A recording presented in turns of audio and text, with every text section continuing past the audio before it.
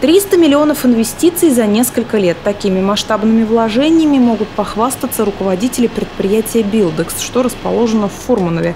Компания занимается производством композитных панелей под двумя брендами – «Билдекс» и «Форма». Одни ориентированы на отделку зданий, вторые созданы для рекламных конструкций. Предприятие чувствует себя уверенно. Недавно запустили новую линию. Она позволит увеличить объем до 5 миллионов квадратных метров в год, то есть в два раза относительно сегодня сегодняшних показателей. Мы свою продукцию реализуем не только в России, но и в странах э, ближнего зарубежья. Это бывшие страны СНГ, Азербайджан, э, Грузия, Белоруссия, Молдавия, так и страны Восточной Европы, Румыния, Польша. Э, уже смонтирован первый фасад в Америке из нашего материала.